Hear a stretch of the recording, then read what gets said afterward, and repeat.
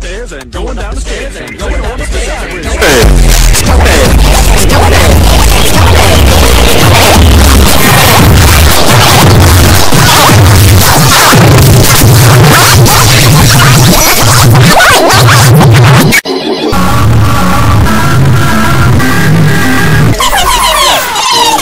Appreciate some of these neat new things. Neat new things.